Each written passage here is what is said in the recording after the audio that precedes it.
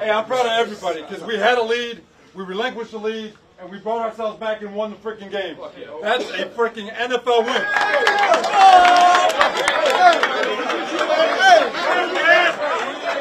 Hey man, hey, hey, hey, look, hey, look, hey, I told the defense, bro. I told the defense before the game. I said I got two things for us. I said communicate, and I say empty the fucking tank, and we empty the fucking tank. Yeah. Hey man, hey, I'm proud of y'all, bro. Special teams, offense and defense, bro. it's only up from here, bro. Hey, hey, let's go. Jets on three. One, two, three. Yeah. And welcome back to an episode of the Cool Your Jets podcast. For Ben Blessington and Michael Nania. Michael, our second victory pod of the season. Are you are you ready for this? Are, are you ready to do another victory pod this early in the year? I'm, I don't even think I can answer that because it's not something that I am experienced with doing. You know, multiple victories in a three week span. This is foreign territory for us. So we're going to try to navigate these waters as, as best we can because it's, like I said, just something that is not within anything that we are used to doing. No, and, in this history of this podcast, I guess this isn't a September win. Technically, it's uh, it's October, but this is the probably the we we started it right before the 2019 season. There weren't any real mem, you know, really meaningful games. I guess they beat the Cowboys that year. 2020 obviously sucked, and then they had the Titans game last year, and the Browns game this year. But we haven't had very many meaningful football wins to talk about.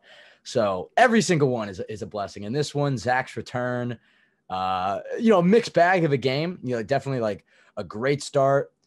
Uh, tough second and third quarter for this team. Definitely felt like they were going to let it slip away. But the fact that they fought back and came back and won it, their second come from behind victory this season, fifth if you count preseason. Every single win this team has had, including preseason, which I know doesn't count, has been a fourth quarter comeback, which I think does speak to the to the character of this team so much to break down on this one.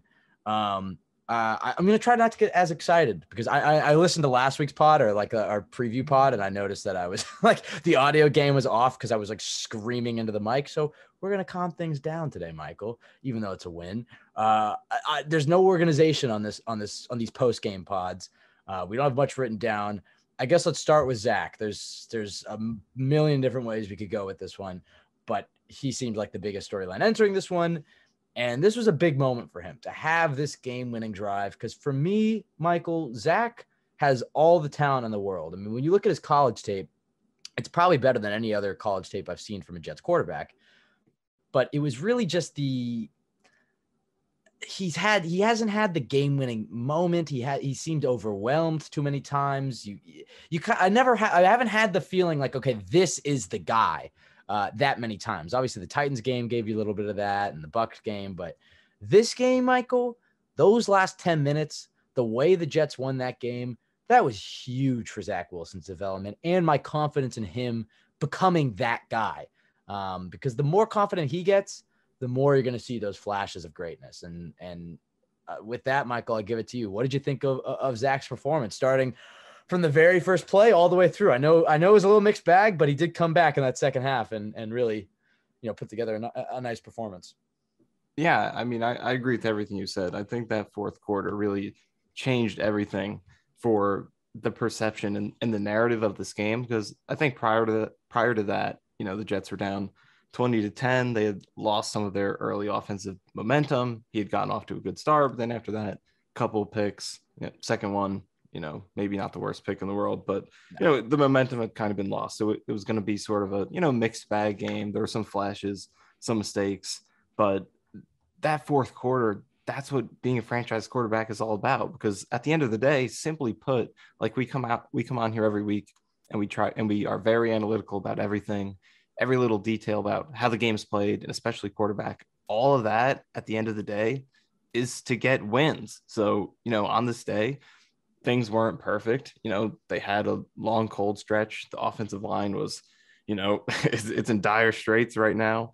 It wasn't always the, an ideal situation for him to make plays, but they were given an opportunity at the end to atone for what had happened, to wrong their rights, and he came through. And that's that's how you put together successful seasons. That's how you win games, get to the playoffs, win playoff games is by being able to come through when you have those opportunities, regardless of if you had the cleanest game or the most perfect game or the best stats.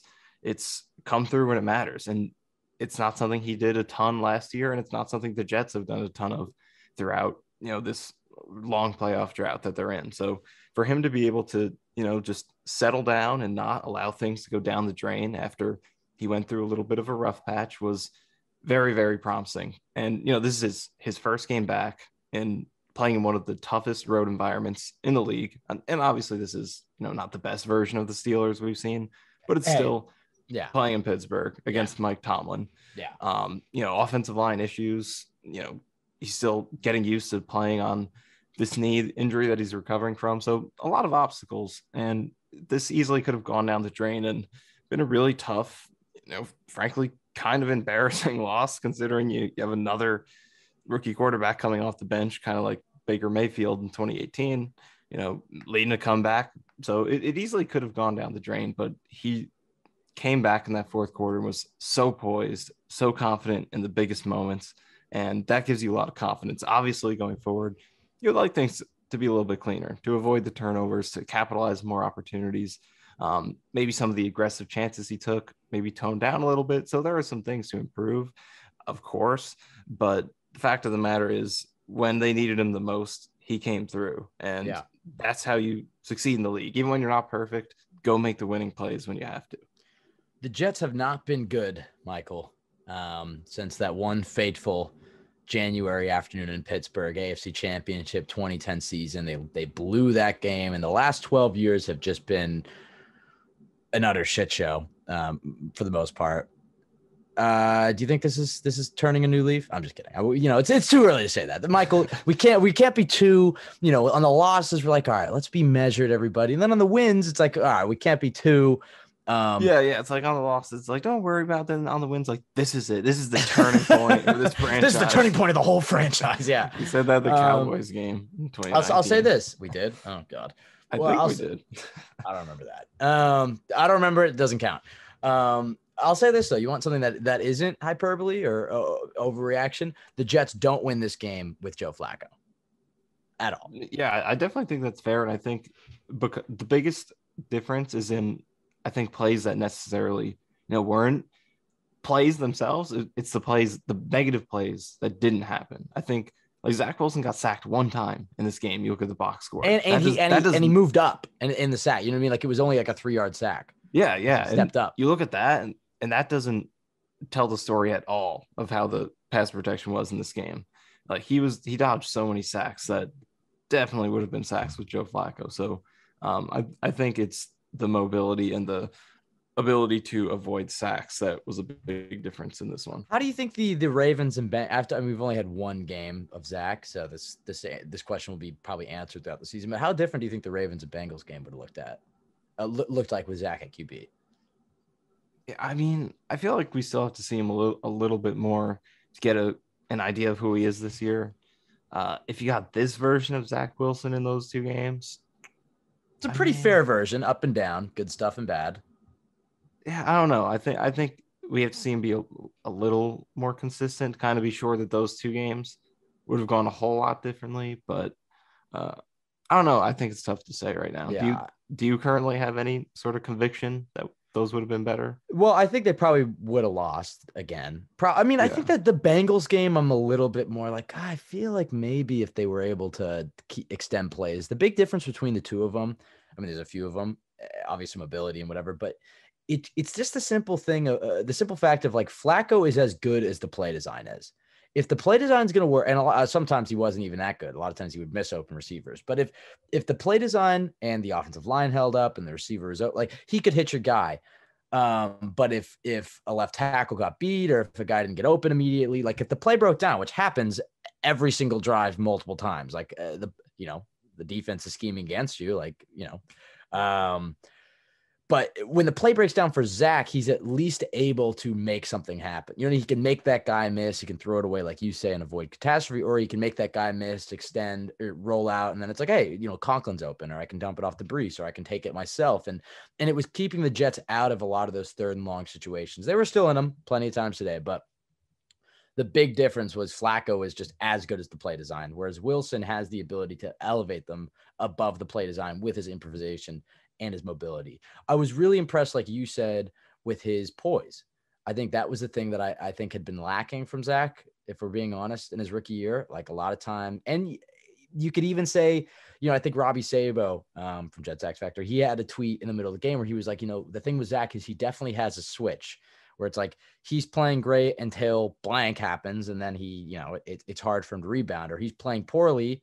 Uh, or like, sorry, like, you know, he has that great game against Carolina. Belichick gets after him week two, and that definitely flustered him for the next two games. And then, you know, and then he has the Titans game. And he's back. You're like, he has these moments where it seems like he, he, it's hard for him to fight against momentum. Like if he's feeling himself, it's going really well, and then one bad thing happens, and and he, we hadn't really seen him too often. I mean, how many times last year did we see him come back after adversity. Right. Like pretty much never. And I, I don't think, think that's a great point. Like that's why this game is so impressive because I think last year Zach, once things start to spiral, I think started starting with that first interception at the end of the second quarter, I think that would have just been the rest of the game. Like he wouldn't have had that fourth quarter. So I think to see him kind of for the first time fight against that kind of switch tendency, like on switch, off switch, and kind of be able to get out of that and bounce back is what makes this uh, a performance to be excited about in spite of some of the inconsistency. And I think the accuracy too. There was like a few plays where, like, I know he had the the one where he threw it to Garrett, and that could have been intercepted. That was behind him. He had the Breece Hall wheel route where he rolled out, and if he just was able to set his feet and launch that, that was a 90 yard TD. Instead, it's it's broken up. He had a few plays, but when the moment counted, when the game came down to the wire, last 10 minutes, some of the throws that he made, especially the one to Corey Davis, who was sliding and he put it like just on the right shoulder, like he made some next level NFL throws. And it was the Zach Wilson that we saw at BYU. And even like the stuff that isn't like Mahomesian, like he had that first big, big play to Elijah Moore where he stood in the pocket and he fired it to the sideline and Moore like made a guy miss and tried to cut it back or whatever. Like that play, like you know, is that showing up on SportsCenter top 10? No.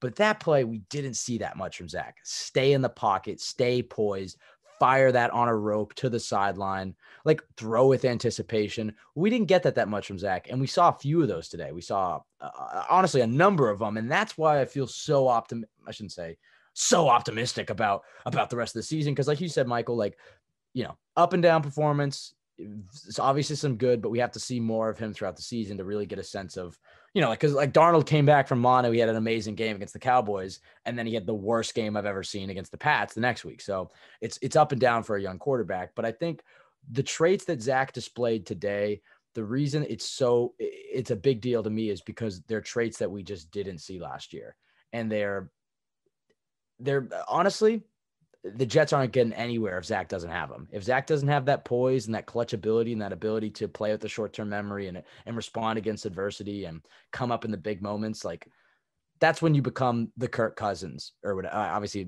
athletically they're very different, but you want to be a Brady or a Mahomes or a Josh Allen or Lamar. Jet- you want to be in that upper echelon. Go and win games like these, you know. And and uh, I honestly, I have to say, I just I was very impressed with him. I was uh his mobility was great, but you know he had that one like throwaway where he got like tossed yeah. up. He spun around and got tossed up in the air, and then they showed the replay, and he he landed with his leg all bent back, and I was like, oh Jesus oh, Christ! but like, uh, so there's a little bit of that still. Where I'm like, ah, like I'm holding my breath every every play, but um, but this did a lot for for me and in, in my perception of, of Zach as a player, and I think the confidence that this will give him will really uh, radiate in his performances, uh, or you know, throughout the season. Um, I want to stay on Zach for a little bit more, and then we, we can move on. Uh, specifically, what were some of the things that you saw that he was doing? I know we've talked touched on a few of them, but some of the things that you saw that he was doing uh, that really stood out to you in a, in a good way, and then maybe some of the things that you saw that were maybe a little concerning, where you want to see Zach grow and and get better. Obviously, it's a lot easier to learn from a win than a loss. But uh, yeah, diving into the details, what did you see from Zach? Well, I, I think positively to go off what you just said.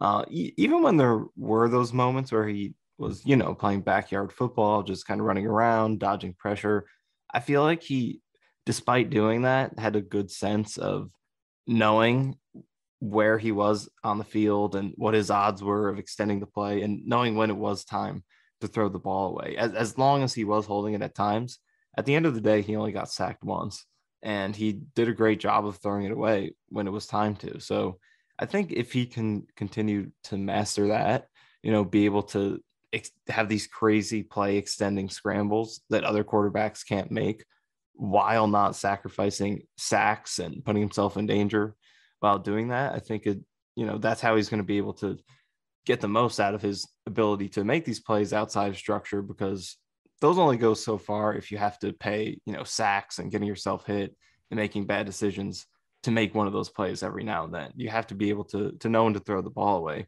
I think that's part of why Aaron Rodgers is so good. You see, like he leads the league in throwaways pretty much every single year because he's able to evade the pressure really well, but he only takes chances when they make sense. And he has a really good feel for where the pressure is, how much time he has, and when to get rid of that ball. And I think in this game, we saw a, a good feel for that. There were some close calls, but for the most part, I think uh, he did a good job of that. Um, on the negative side, I guess, well, first of all, it all starts with that interception in the first half. That was definitely one that he would like to have back. You know, throw that, especially considering you're in field goal range that you probably don't want to try. And guess uh, who was wide open? Garrett Wilson was wide open over the middle on that play. Um, so yeah, that one was one you'd like to have back. And I guess just some of the deep throws, some of them when he was outside the pocket too, like you mentioned the one to Breece Hall. There's definitely a window there. Um, tough throw, but one he can make. Definitely not as tough as you know the Titans throws he made, so he's capable of it. Um, so he did miss on a few of those. Maybe they're and I'm gonna have to watch it again, but I also think on that Hall play, I think it was Uzomah who's wide open, kind of a few yards more shallow than him. I'd have to rewatch it, but there, um, there was there was a tight end when he was rolling out where it was like, okay, you could dump it off to him for a few yards, and I was like, oh well, he could just run it for a few yards, and I was like, oh, he's gonna bomb it deep. He's wide open Breece, and then it was incomplete. So it's like, yeah. So I guess like the deep accuracy wasn't great. No. Um, honestly, a lot of this you really have to rewatch it for you, you truly know. But um, but yeah, I mean, I guess overall it's just kind of kind of shaky with the accuracy. There were some close calls, especially on the deeper throws. The interception wasn't good. Um, but the first one, I, I, I like the yeah the first the second one I mean, Conklin. That's Conklin. It, Come on. It's not an ideal throw, but you should catch that ball at least what 80% of the time. Yeah. And and even if you don't, it's just unlucky that's that it's an interception. Like he missed it. You know, it wasn't the best throw, but it shouldn't be a pick. You know, it's not it's not like an interception worthy throw like the yeah. first one was. So it is a mixed bag in the middle of the game there, but um, start of the game was great. The close was great. In between there, uh, kind of struggled to find his footing, but uh, overall, the way he finished has to have you feeling optimistic. And even when he was struggling to find his footing, it it it, it did feel different. I could you could just sense his feel of the he was comfortable in the offense. You know, like I felt like that was very apparent that he didn't look like his head was spinning on every single play which we haven't really seen from a from a Jets court. I mean, like towards the end of last year, you definitely got that from Zach. Like post injury, he seemed a lot more comfortable with the playbook and and and setting the protections and the routes the receivers are running. Like having to hold all that information in your head every single play, especially you know Zach's a guy who has ADHD. Like I I have ADHD. A lot of people have ADHD. You're wondering, it's like, well, is he able to even kind of maintain all that information in his head in an NFL stadium with all these fans? Like and he came back from the injury last year and he seemed a lot calmer in his head. He seemed like he uh, was able to calm his mind down and settle down. And then today, like like you said, like he had some rough moments, but he was able to just he just seemed in charge. He seemed in control. Even when he had some bad passes, it didn't seem like the Sam Darnold seeing ghost game or the Zach Wilson last year against the Pats, where it was just like, um, you know, things are really spiraling out of control. Granted, it's worth mentioning. It's a better team. The Jets are able to run the ball a little bit more. Receivers are getting open easier. Guys are holding up their blocks a lot more. Um, so it's it's a lot different. The Jets are finally able to help out their young quarterback, which I think is a, a big thing you saw in this one. But at the same time, this young quarterback went out and won this game, and they played complementary football for the first time this season. This is really the first win, Michael, that because even going back to the Browns game, like obviously the Browns game was magical, but it, was a sense of like, okay, they totally shouldn't have won that game. Like the Browns could have just kneeled it and won. Um, this was the first real, I don't know, like regular season. They won it, meaningful, get to 500. Zach's undefeated on the year. Like this was a really massive win for this team, man. And I, I don't think you can under, understate it enough. Like entering this one, I I texted you like five minutes before the game. I was like, oh boy, here we go. This is a big one because they lose it and you're one and three, and then you got a really tough stretch upcoming. And you know, it's it's probably another one of those types of years of last year. You know, maybe they have a better second half and they can get to six or seven wins, but it's a different type of season. The fact that they got to two and two, and we'll see how they they they play over this next five games before the bye. If they can get one or two of the, the these games as wins, I think that's they're in a great spot. If they're four and five, um, but they're playing competitive football, Michael. They're finally back kind of in the thing. You know, like we'll see. We'll see how things go and how the rest of the season goes. Just like you could start 0 and 4 and finish 13 and 4, but it feels like okay. For the first through the first four games, the AFC North gauntlet that we talked about for months, they came out of it 500 and even the two losses, yeah, like they weren't pretty, but there were moments in those games where you saw the Jets were competing and could have won those games.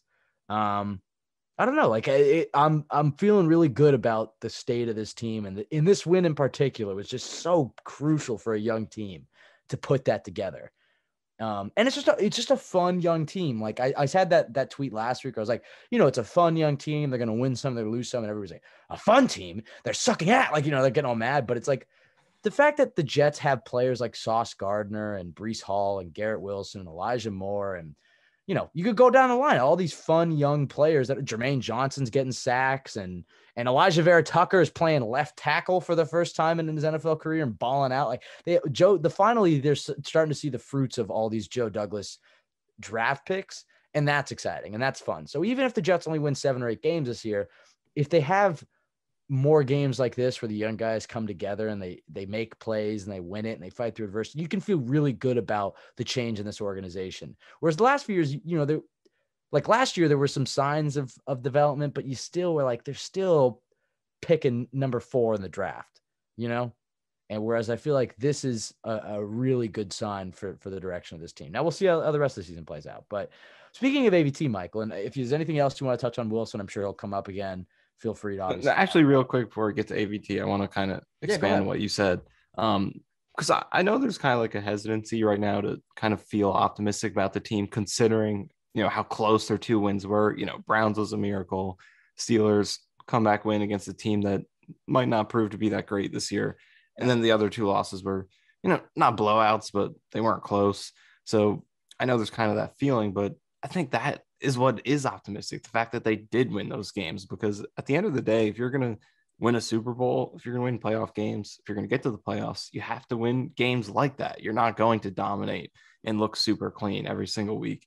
You have to be able to find ways to win, and the Jets have never done that throughout this this playoff drought, except 2015, obviously. Other than that, like they don't win these games. The only time the Jets would win games in recent years is when they come out and you're like, all right, everything's clicking and then they'd still only. this game felt like that. This game felt like that, and then when it started to slip away, I was like, "Oh, these are the worst losses." Right, exactly. Like these are you... these are the games that they lose, and you have to be able to win when you don't play your best. And granted, the Jets do have to improve and play sharper if they're going to win games this year and be a winning team going forward, because you're not going to win every single game like this, and you have to be sharper if you're going to be consistent. But if you are going to get the wins you need to be competitive, you have to be able to come out on the better end of these games more often than not. And right now they're doing that. So hopefully, you know, ideally they do they do play better football going forward. And this right now is, you know, just the beginning. And they stole two wins when they're not even playing their best. And then you do play better and you get more consistent. But winning games like this, you should feel optimistic about, regardless of the overall evaluation. You know, is this part of the team playing well? You know, right now we're still getting you know, our net points isn't great right now, or we got blown out twice, one two close not games. blowouts. You know. Come on, Michael, not blowouts. Oh yeah, like I said, they weren't blowouts, but again, not close games. But however, I've been to plenty of blowouts. I've, been, I've however you want to label it, it's you know, regardless of that, like they're finding ways to win, and that is the name of the game, and it's something the Jets haven't been able to do. So more improvement is needed if they're going to get over the top, obviously, but this is a team that really, and like you mentioned, going back to the preseason, not that that matters, but you just look at the fight this team has been showing. Like every year we criticize, like, do they care? Like, does this team really, you know, want to win games? But this team clearly, clearly does. And I think there are special things happening when you win games like this. Well, they put a, a- large emphasis on bringing in high character guys, and as Joe Douglas said, guys who hate to, to lose more than they love to win. And you're seeing that. I mean, you go watch the pregame speeches or the postgame speeches, like you said. Every single guy in that locker room cares, which I know that sounds like that should really that should be like obvious, but considering we've seen Sheldon uh, Sheldon Richardson like going live on, on or putting on a Snapchat story like "fuck this game, where the hose at" or whatever, like ten minutes before kickoff. Do you remember that? You remember that, Michael? Yeah, yeah, yeah. We've had a few of those players where it's like, all right, this guy's just cashing his paycheck. And you don't get that sense. Everybody, I mean, Salah looks like he's aged five years in the last three weeks. And every single player, you can just see every loss they wear and every win is just ecstatic for them. And that's a, that's a great feeling because that's how I, I know, Michael, I know that's how you take every loss and every win. I, I've, I've to, I've had to ban Michael from texting me during the games because he just we, we so don't need to negative. discuss that. I'm a very optimistic fan. Let's just say No, that. hey, you, and here's the thing, Michael is you're right about some of the stuff you say during the game, but I'm just so fragile during these games. I'm like, can I just enjoy them? Like, let me just let me just. No, I think we actually should touch on touch on a little bit because I think if I put it out there, it'll kind of help me make the improvements yes. I need to make. So I don't know. Like I'm definitely an optimistic fan in general. I think that comes across in some of my coverage, my writing, and how we talk about it on here. But on game days, I am just as reactionary as it gets. Like every single play is like You're like you're oh, like I'm done with Zach Wilson. It's like I don't even know well, you're not some like of the things I say in this game. You're not that. Yeah, all right. Yeah, I never said that. yeah, that's no, for sure. You're just But- like Uh, Yeah. what was one thing? Like I, I think before halftime, like I sent you his box score stats and put like a puking emoji. yeah. I was like, dude, can you just wait until the end of the game? Um, you know, it's a it's a good formula. I just think that you know and then what? going into halftime when the Jets were leading ten to six, not something the Jets do very often. I was like atrocious. I'm not Yeah. happy about anything except a few sacks. I think that uh I think there's probably a few fans that feel the same way as me. Like I I, I was just saying this to you before the pod, but like uh that 2020 season I did I do think kind of changed the way I watch them a little bit because we kind of just got comfortable with them losing and uh, not that you're like comfortable with them losing this year, but it's at least like all right, like I'm just going to try to enjoy the game. I'm not gonna act like a loss is the end of my existence. like after I had, I was telling Michael like kind of the breaking point for me as a Jets fan. Like, look, I still get pissed. Like if they lose a big game, I'm gonna get angry. But I think I've I've I've undergone some some uh, some growth as a fan, not like freaking out. Because like the, the 2019 season, they lost to the Bengals, like a completely meaningless game. But if you remember, they had won three in a row, and it was like, all right, well if they win this, then maybe they can make a playoff push or whatever. And it was like a random like third and 20 in like the third quarter or something. And they threw it to Le'Veon Bell, or they know it was a draw. They handed off to Le'Veon Bell. I was like, "What the fuck?" And then then he runs and he gets it. I was like, "Yes, let's go!" And then I call it back. It was like holding, uh, freaking I forget who it was, like Greg Van Roten or somebody, and or I don't think they even had him. It was like Alex Lewis or something. And I was just and I I was just so pissed. And I was in the kitchen. I grabbed there was just an apple on the table. I grabbed it. I threw it across the room, and it shattered this like this glass hutch in our family room and my parents like what the fuck is wrong with like they got I- you know it was a big deal. And i just feel like since that moment i was like I- i just had to come to terms with like why am i freaking out about a terrible football team coached by adam gase? Like you know so now it's like we've gotten to this point. I'm happy with with some of the young players. Like let's just enjoy the games you know? Like we we have a whole week for for reactions. Um Yeah, no, I'm try- I'm trying to get to your level because I understand the lack of control. That think that's the biggest thing. I think as a fan, you don't control what happens, and it's not like complaining and making suggestions during the game. Like this is unacceptable. They need to be better. it's not like that's gonna. yes you're in change Salah's ear So it's like if I scream it loud enough, maybe he'll hear it and make suggestions or make changes based on what I suggest. So I'm trying I'm trying to get to your point where it's like like obviously I'm not gonna be like happy go lucky after Hey, every so- single bad play. Yeah. Where it's like, all right, guys, we'll get out of this. That's not- points." Like- yeah not that not that I'm gonna try to be like that. Like I yeah you don't be delusional emotions, but but it's like Yeah. I need to stop like having existential crises when I when I'm during the games when you know it's 2010 like why do i root for this team every single week i put up with this and then 10 minutes later i have my reactions recorded that i'm playing for you where i'm like let's go so it's like yeah yeah i just got to find some better game day balance that's all right. I think most Jets fans feel you on that one. All right, let's let's talk about AVT because I think that he I almost opened with AVT over Zach because to me that was the biggest storyline of this one. More so than Zach, honestly. Because entering the week, and obviously we still got to see McDermott when Max Mitchell went down, which by the way, if Max Mitchell went down and McDermott was already playing left tackle, and then they had to throw like who the fuck were they? It was, who's the guy? Uh, uh, uh, Grant Hermanns. Who did Hermanns active? or was uh Ogbuehi? Was he active or was he? Oh boy, I think he was inactive. God knows what they would have done. But um, I uh, let's just go back to the decision first of all. I so I'm almost kind of bummed that I didn't mention on the pod because the thought occurred to me. I didn't really think they would do it, but I was like, not at left tackle. I was like, oh, I wonder. Like AVT has tackle experience. Like, you know, in an emergency, I guess he would be the guy they would probably flex out there. And I kind of do wonder how he would look because some people in the draft are like, okay, he's probably gonna be better at guard, but this is a guy that could be an NFL tackle. Like if you remember, like there's some teams that were like, if they drafted him, maybe they would have tried him out at tackle first. Um, but the Jets made him an automatic guard. I have to commend that decision, and not just the decision, um, but the fact that they kept it so under wraps to the point where nobody even Right, knew until yeah. the Jets were on the field in the not even pregame. Like because pregame they they do their little warm ups and they're they're in you know like and so sometimes you can get a sense of what the starting unit's going to look like. I don't know what was happening. Maybe nobody was paying attention. Maybe they didn't really do that. Maybe they fool faked him out and had McDermott there, but who knows? But the fact that it it was literally a secret all the way until when Zach Wilson was under center on the field, ready to take a snap, is impressive. I like the outside the box thinking because it clearly was the right move. Your guard depth with Nate Herbig is significantly better than your tackle depth. AVT balled the fuck out. He might actually be the Jets' best player, Michael. Do you agree with that? Do you think he? uh, I mean, if Duane Brown comes back this week, which we think he might, we'll see. You know, we'll talk about Max Mitchell's injury a little bit, but if Duane, if Mitchell's out for a while, we know Fant's going to be out for the next few weeks. Duane Brown's eligible to come back, if he comes back, Brown will probably slide back into left tackle. But then you're like, all right, I guess AVT should play right tackle, which means AVT in his first what like 20 career games, something like that, 20 something career games, he will have played four of the five positions in the offensive line. And if he plays well at right tackle, he's generational. I don't care. I mean, he he straight up should be a Pro Bowler. I don't care because how many offensive linemen, Michael, can you think of that could play four? Hell, I, I don't I don't doubt you could put AVT at center. How many offensive linemen do you think could put all five positions and ball out? Not many, that's for sure. Yeah.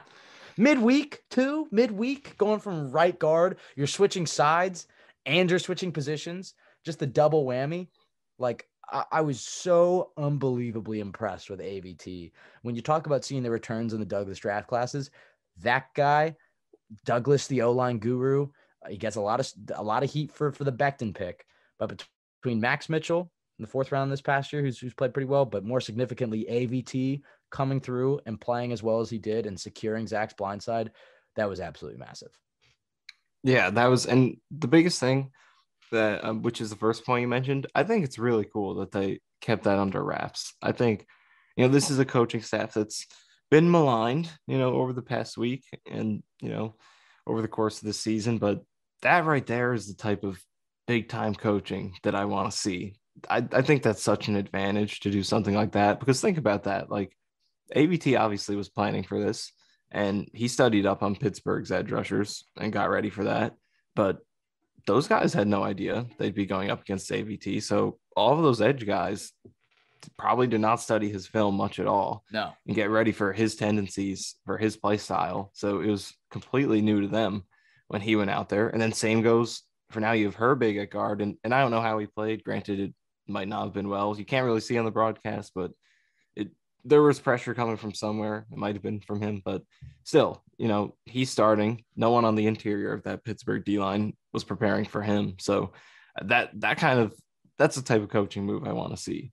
Just keeping that under wraps. No need to come out here and tell everybody everything that's going on. Just keep it quiet, you know, handle your business and then come out there and you have an advantage.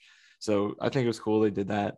And, and then, yeah, I do think he has a case to be their, if not best player. And I think he does have a case to be their best for sure because he's been that good this year. I just think there's some competition with how good Quinnen's playing, DJ Reed, Garrett Wilson, Sauce Gardner, but he's definitely their most valuable, I think. Once you have this game in there, for his ability to to that's such a hard thing to do to switch from right guard to left tackle in one week. Different, you know, not only different side of the line, but different position entirely. It's completely different footwork, completely different type of players you're playing. Hasn't against. done it since college. Hasn't done it since the 2020 season.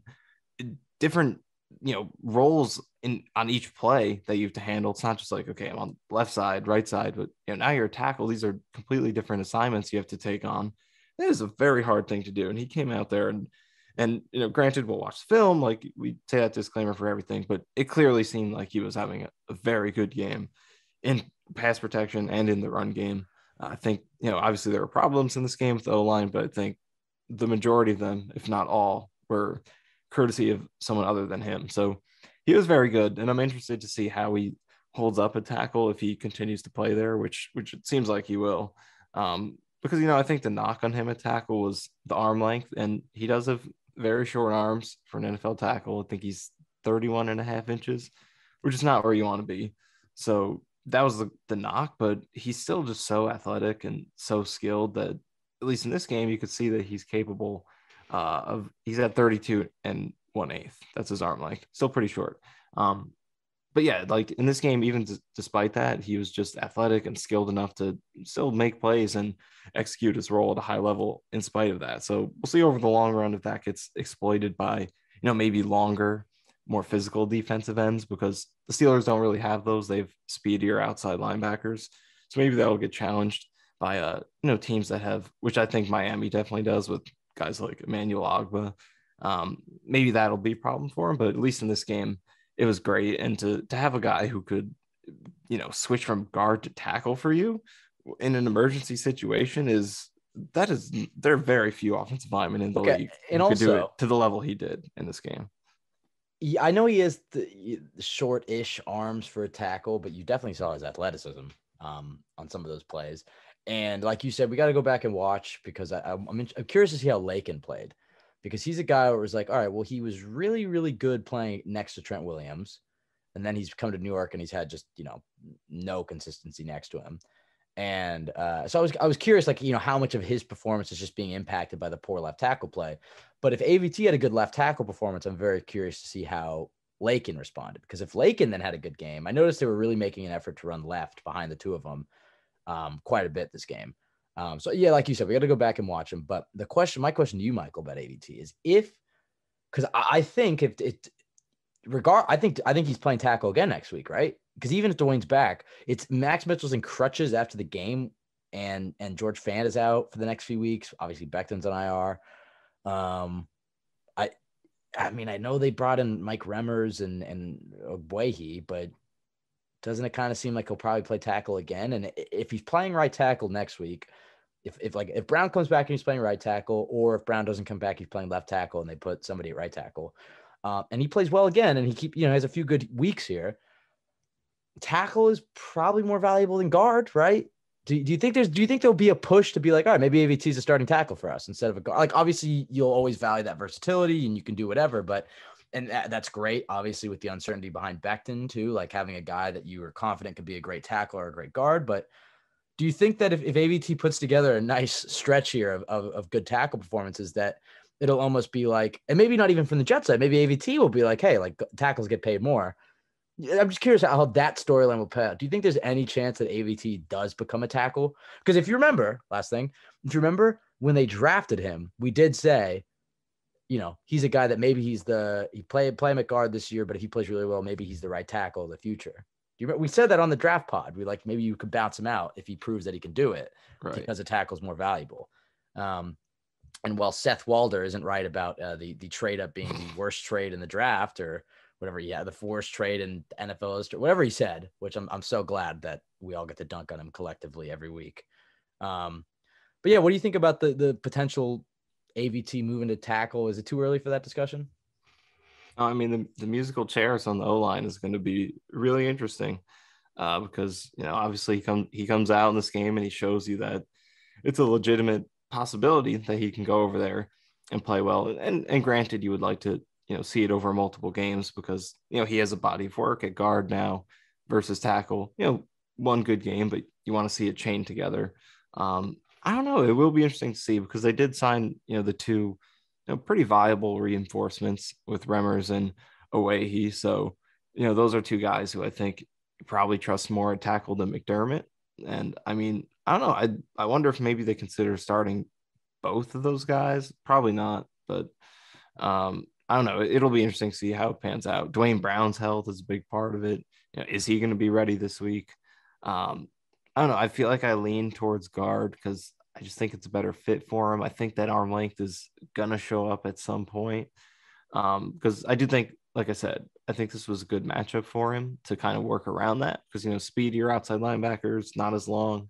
Uh, he can use his athleticism to match them, but I think maybe bigger, longer, and stronger guys will be able to, you know, get that first contact on him and create some push. Um, like I said, especially Miami next week, I think they have some bigger DNs who can do that. Um, so I don't know. I'm not totally sold on it yet, just because I love how well he's played at guard this year. He was playing at, you know, first three games, legitimately a top, I'd say top five left or a right guard kind of level. I really think he was playing at that type of type of caliber. So I, I'm I like how he's played at guard, and I don't want to mess with it unless I'm totally sure that he's gonna be a good tackle. Did uh did you know if McDermott allowed a sack? I think the, I think our bet is off because he didn't start at left tackle. So I'd said that if, if the Jets win and McDermott didn't allow a sack, I'd buy his jersey. But That's that was true. so you're that was- hook. but that was under the assumption that he started at left tackle for them. He did have to come in after the Max Mitchell injury. I'm sure he looked terrible. But Right. Also, quickly, I think did what was the prediction I made on the interception? Did I say Joyner? I feel like I know you said Carter I, the you said you did say Carter the second. I remember that. I feel like you Right. thrown out Joyner as well, but you did get both Joyner and Carter the second picks. I I think no. I said maybe Joyner, but I didn't go with it. you also I- threw out Whitehead. I did say too. Carter though. You also I, I, don't did. I think I you didn't you didn't say he would get the pick. You're like, oh, maybe Whitehead, or you were thinking. And then I tried to go two Galaxy brand, and I went with CJ Mosley, but he was close in one play. He, he was right there on one play, but he allowed the the completion. And then I gotta say, can the Jets can we get our act together on the whole Breece chant when he gets the ball? Because the Steelers have that shit down when Freiermuth catches the pass. Yeah. just smooth every time. It's like can we And get that that? that is much more ambitious than I think than Breece. yeah, like- Muth from Yeah. Freiermuth. Like Yeah. that, I don't know. So yeah, the, we got to get our act together on that. Um, all right. So I thought O line in general, like you got to go back and watch it, but AVT definitely deserves a gold star um, for his performance this week. The receivers, you know, let's just lump all the weapons in as, as one thing. Otherwise, this podcast is going to take three hours. The entire the, the weaponry for for Zach, a lot of good, a lot of good all year from the, from these guys. Um, let's start with Elijah Moore, who I think that uh, you know he's he hasn't really had scrutiny, honestly. It, it's the scrutiny's more been on the Jets for not giving him the ball because I think every beat reporter that has been at the practices has seen Elijah Moore for the last two years and they know he's a good player. So they're not re- there hasn't been much focus on on Moore himself of like what is he doing wrong. It's been the Jets got to get Elijah Moore the ball, and I think you definitely saw a concerted effort from Zach early on in the game to really get him involved. And he had that that that first I don't know was that the touchdown drive where he had those two completions to him, but you, uh, it was like the first time we got to see like Elijah Moore in open space with the ball in his hands. I felt like I feel like we haven't had too many times where it's like, oh, Elijah caught a ball in stride and he's got, you know, some room to work with. Like every single time we've seen Elijah catch a ball this year, it's been like, you know, possession caught right at the, you know, like a 15 yard uh, catch, but he tacklers right around him every time. And this is the first time it's like, oh, he's getting, you know, you're not going to play him in the slot, I guess. They're, they're sticking with Garrett in the slot, which is fine, I guess. You think uh, you want to try Elijah out at, at, at X, which which he definitely can do, but he needs to have those YAC opportunities. And uh, it was cool to see him get some of those. So, what are your thoughts on Elijah and then any of the other guys that, that really popped out to you? Yeah, it was cool to see him get the ball in space a few times. You know, he made some people miss. He saw his speed, and those are things we don't get to see a, a ton from him. So I think there's, you know, there's capability for the Jets to get him some more of those opportunity opportunities because he can be a really good YAC playmaker. Uh, and most of the time, he doesn't get very. His catches aren't very conducive for YAC. You know, he gets a lot of curls, outs, things like that, which he's great at and he can win on, but they don't allow him to be the playmaker that he is. So um, you don't want to take those things out of his game because, like I said, he's good at, at separating on those, but you do want to get him some more catches over the middle so he can do what he does with the ball in his hands. Um, in addition to him, I think there's a lot to talk about with some of these weapons. Corey Davis had a, a big game, five of seven for 74 and the touchdown. Um, and the thing with Davis this year is the catches he's made have been quality catches, like She's you know, contested balls up in the air, over the middle. down low, diving. Uh, he's had clutch touchdowns in this game, and obviously the play against Cleveland, which you know, granted it was wide open, but he executed his role and did what he needed to do to make that happen. Um, but but overall, uh, Ravens game obviously wasn't necessarily close at the end, but he had some great catches in that one. So he's been, I think Corey Davis this year has been what you signed him to be. Um, the drops are down. He's making those contested catches again, and he he's been that big body target, that clutch target that they need him to be. So, really impressive game from Corey Davis. Um, Garrett Wilson had his quietest game so far, but I think we're going to turn on the tape again and see some more plays where he could have been hit. But granted, I do think it was probably his quietest game in terms of winning. And I think he, yeah, he had that one drop where he was hit over the middle. Uh, so there's that. But the play he made uh, in the fourth quarter, the big catch and run was that was a fantastic play with some of his elusiveness after the catch. Um, and then Tyler Conklin is an interesting subject here because they're like Conklin overall, I still think is playing pretty good. Like he's made like Davis, he's made some really nice contested catches. He's had some good catch and runs the past few games, and there is even some subtle impact with him, you know, such as on Davis's touchdown, where Conklin has a great rub to get Davis open. Conklin has done a lot of that this year in combo routes to open people up. On Garrett Wilson's game winner against Cleveland, Conklin's timing to hold the linebacker was great to get the, uh, Garrett, Garrett Wilson open. So over, and I think Conklin's block, blocking has been good. So overall, he's playing pretty good and just what you expected him to do. But the hands just have not been what you've typically expected from him. Um, you know, the second interception, that's on Conklin. It's not a great throw. You know, Zach Wilson could throw that more accurately, but it hits two hands. You're a tight end. You got to catch that ball. Yeah, he's so had a few too many drops. it's it's a little disappointing how drop prone he's been, considering he had one drop last year. I think he's at three now with this one, and two fumbles versus having, I'm pretty sure, one his entire career coming into this season. Um, granted, that's unlikely to continue, but the drops are concerning with him. But it is exciting that other than the drops, I think he's been very solid. So once he gets that figured out, I think fans will come to appreciate Conklin as a, easily this team's best tight end since Dustin Keller. And not a high bar to clear, but he's playing outside of the drops. Hey, And the drops matter, but outside of the drops, it- he's been really solid, I think. hey, Dustin Keller. That's the OG right there. Oh yeah, Yeah, I'm saying you know in terms low of bar. guys, guys since him. I'm saying Yeah. Okay. Yeah. Yeah. Yeah, That's that's a that's not even a bar. That's yeah underground. Um, I think that uh, like you said, Corey Davis was this was a a special game for him. I think he had the Titans game last year was was obviously a great game because he, had, he honestly just because he got that that big touchdown or whatever, uh, and I think he had a, a few other nice plays. But this to me was the the biggest game of, of Corey Davis's Jets career. Just some of the catches that he made, and like you said, he's had actually a number of them. I know he had the bad drop to open up uh, the season against the Ravens, and then he had the bad penalty last week, which was dumb, and he had another bad penalty today. Um, but he's had a really good offseason. I mean, through training camp, he's popped up consistently about the plays that he's made, and he's made plays in pretty much every single game. And some of these really, really tough catches over the middle, having to dive for them or, or jump up for them and take a big shot. And that's what you mean when you say like we need a big physical receiver. It's not like you know today's NFL and especially in this Jets offense, it's not like they're asking Corey Davis to like box out a corner that much or like use his physicality. It's like go over the middle and get smacked and get up. That's what it means to have a big physical receiver for this offense. And and Corey's doing it, man. And uh, I think he definitely deserves uh, a lot of praise. Garrett again. Open, it's like every play. Uh, had a really nice play in the fourth quarter that really got the the, the ball moving on that on that one drive. Uh, Elijah, like we said, I think finally we started to see him get involved. Uh, I'm just so excited to see Zach with all these weapons, man. The fact that they, knock him wood, they all, Michael, knock him wood. right, There we heard go. that. I heard it. Um, the fact that they've they've stayed healthy for him too, and they, so he's come back and he gets to have kind of the full arsenal. Um, Breece is really starting to get going. Like every week, it seems like he's getting better. And this week, again, he seemed great. Or you know, he's he's getting more comfortable. He's breaking more tackles. His vision's getting better. I mean, like Breece is really starting to come on to the point where I think he had. I have to go look at the box score real quickly, but but I think Carter only had like eight carries, and I think Breece Yeah, had like 17 to 9 for Hall. Seven, yeah, 17 to 9. Um, so definitely the whole like Bryce uh sorry, the, the Breece Hall transition to RB1 is is definitely taking place.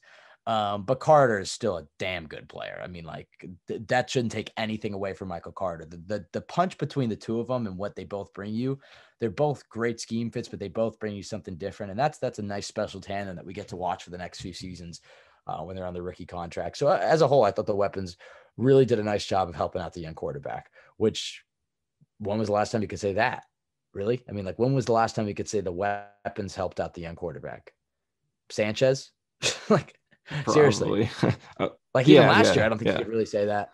I mean, maybe the Mike White game against the Bengals last year, you could say the weapons helped him out and he's a young quarterback, but they the Jets have just not done a good job of assisting young quarterbacks over the last decade. And this was a, it was a good game for the weapons. They they did a good job, got open, made some big catches. Yeah, they had they had too many drops in this one for sure. Um, but yeah, I mean, the offense really came together tho- those last 10 minutes. You have to be excited. Last yeah, and another uh, quickly, go I, another thing I like about the the weapons, I like the way the ball was spread around. You had four different guys in this game who would catch Yeah. for over 20 yards. So uh, I think they did. Zach did a good job spreading it around. Didn't rely on one guy too much. You know, we saw early last year he at times was a little too reliant on Davis. Um, but in this game, I think you really saw the versatility of this skill position group kind of kind of come into play and see the value of having multiple guys who can win because you know you can't really lean on one guy. Sometimes he's not going to be open, so you have to have a second option who can win, a third option, and in this game we really saw that um, because you know Corey Davis would make a big play, then it would be more, then it would be Wilson, and Conklin. So even Carter had a big catch late in the fourth quarter. So uh, the way the ball spread around is a it's an exciting thing because it, it really helps the consistency of your offense when you have multiple guys you can rely upon. Um, what did you think of LaFleur's performance in this one? They definitely opened up the bag a little bit more with the trick plays. They had the one that obviously they scored the touchdown. We got to see a little Zach Wilson gritty. That was great. But then they had the one later in the game where Zach dropped it. I, I really want to see the all 22 on that. Like, was there somebody just wide open down the field and he took his eye off the ball? Um, bad drop by Zach, but hell of a save, man. And when you talk about like a natural athlete, you remember that video that went like a little bit viral in the preseason? Or I think it was during the green and white scrimmage where um do, do you know the video I'm talking about where they like We caught it one handed. yeah, he caught it one handed, like yeah. he just stuck his hand up and caught only, it. only weirdos like us would remember that. Well, nah, you had like quite a few retweets. It wasn't like just yeah, a I guess random. that's true. It was kind of like uh oh, he's, he was right on the heels of he's got that dog. in remember that too. random four second Twitter clip of Zach Wilson catching a ball one handed in the preseason? and it wasn't even a game, it was the scrimmage. Yeah, of course. Um, he uh but like, yeah, man, he's such a natural athlete. You got to give him props. I know he dropped the ball, which is the easy part of the play, but the way that he was just able to scoop it up with one hand, like you could just see him tracking it, scoop it up with one hand, throw it out of bounds. He had a number of those throwaways where it was just like, what the fuck is happening? quickly on that point, I think there's clearly zero physical questions. He looked like 100% for sure. Oh yeah. Oh yeah. Uh, The fact that he took that one hit that we were talking about earlier, where he landed on his knee all the way bent backwards, and he was fine. I think it was the other knee, so I think it was the left knee that he landed on. But still, like, yeah, he, t- he took some shots on this one, but uh, I think holding him out like was definitely the right move because he's making an effort to really use his legs a lot more. Is at least what I've saw. Like he he's using his athleticism. Uh, It doesn't mean he's gonna have to run every single play, but he. I just noticed in the pocket, like we saw it a lot in the uh the first game against the Panthers, and then I think he got away from a little bit where it was like that pocket movement, that slipperiness. You know what I'm talking about? I think the the knee injury against the Patriots last year kind of took away some of that. He's talked, he's been very vocal about not wanting to wear the brace because he thinks it'll affect his mobility. Um, and I think you saw that last year. Like he looked way slower with the brace on. Like even the touchdown he had against the Jags, like he didn't look like the the type of athlete that we know he is. Or the run he had against the Saints where he slid and he had like a wide open 40 yards that he could have maybe ran. Um, Zach Wilson without the knee brace. That's a new uh, mythical, uh, uh, new mythical player for the Jets. Knee uh, knee braceless Zach Wilson because he's quite mobile and quite agile, and I'm excited to see uh, to see what he's able to do. The the the deep accuracy, like you said, wasn't really there uh, in this one, but the longer he extends those plays and the more improvisation we see, like he's got to do the simple stuff. That's all keeps hammering home, but you're going to see the Mahomesian magic. And I, you started to see it a lot more in this one, even if it was like just in throwaways or scooping up random fumbles. You kind of got to see some of that magic that everybody saw from him at BYU, and that was awesome. Um, but what did you think of, of LaFleur's game plan? Uh, I have to say, I really liked it. And I obviously the AVT thing, I think he deserves uh, some credit for. He opened up the trick play bag. Uh, it is kind of funny that like Lawrence Cager was such a, a focal point of week one. And he's just been inactive three straight weeks since. Yeah. Um, like this random practice squad tight end is like, we're going to target him the first five plays of our opening game script. And then it's just like, all right, inactive next three weeks.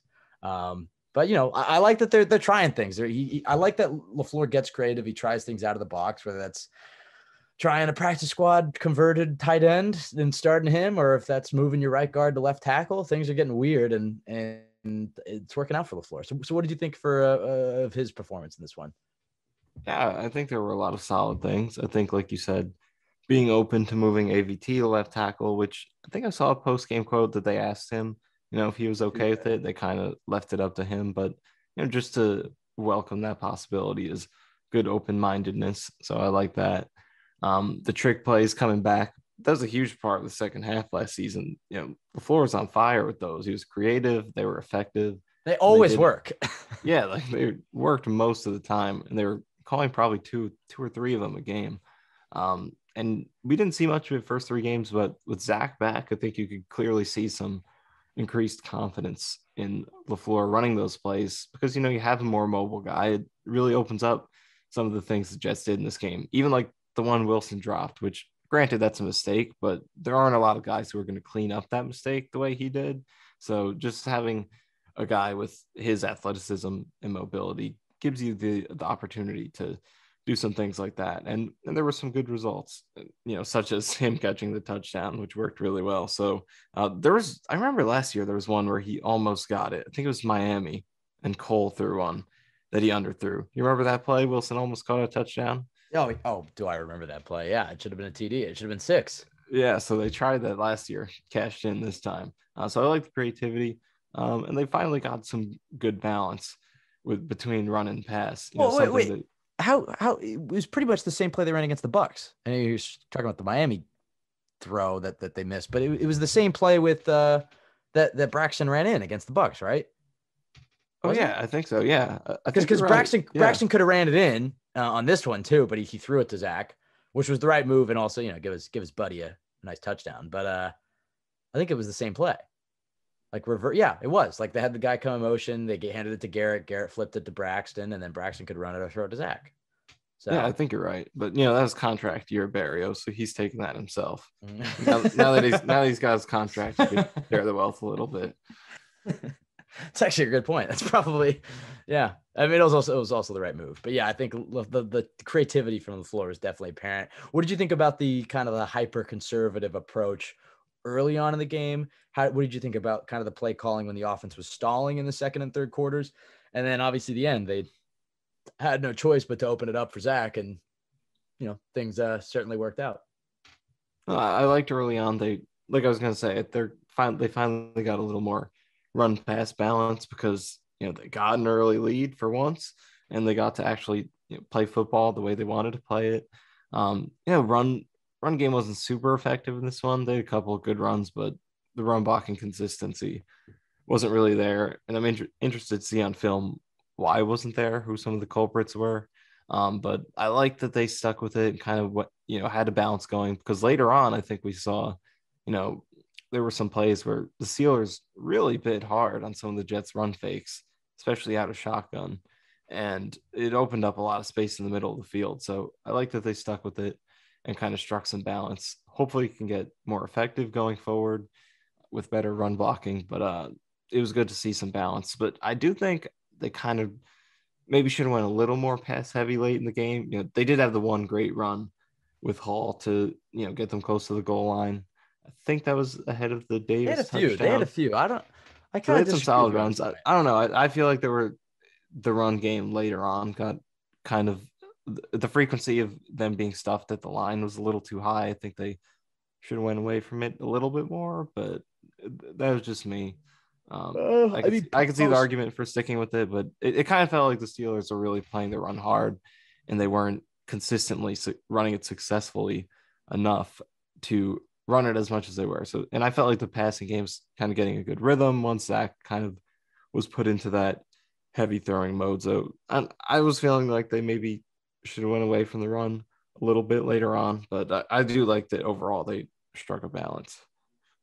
Yeah, they do seem to operate better as an offense when, when they're throwing the ball. But part of just running it is just keeping the defense honest. And if, obviously, if you can run and have positive yards, that's great. But keeping them balanced is, is does as much for the passing game than just you know the idea of we want to run. Um, you saw that uh, in this one when they started to they ran the ball a lot, and then Zach started to get cooking, and then the Steelers started to switch to a two shell look you know, they started to play more over the top, and then that's when Zach did that interception, and then they went back a little bit more towards the run. It, it, I, I think that, like you said, like down the stretch, Zach was really getting cooking with the passing game, but I actually disagree. I actually like that they kept kind of running the ball and keeping the defense honest, um, because the defense had to play the run, and they couldn't just try to go all out, get after Zach on a blitz or play coverage. Like they had to defend Breece, and um, also they did a really nice job of managing the clock in this one. I think you know like we we talk about it when it's bad and we don't talk about enough of it when it's good, but they did a really really nice job of you know they they let the clock run down to 18 seconds. They call the timeout. It set them up where it's like all right, we have an opportunity to run three plays here, you know, or two plays and we can kick the field goal or maybe we'll go for it, but we have all of our timeouts. Like uh, Saleh and company did a really nice job of managing the clock towards the end of that uh, this one. Uh, obviously, the end of the first half was a bit of a clusterfuck, but they they helped it with the end of the second half. Uh, what did you, what did you think of the end of that first half? The little momentum swing where it was like they should be up thirteen to three at the very least. They throw it interception, then the Steelers bomb it deep, and then they the Jets get another interception and they run it back. Uh, for a little bit, and you're like, oh, the Jets going to score. Obviously, he gets tackled after a few uh, laterals. And you're like, all right, end a half. And they're like, oh, wait, never mind. It was uh, roughing the passer, kind of a weak call, but you know, it gets called nowadays.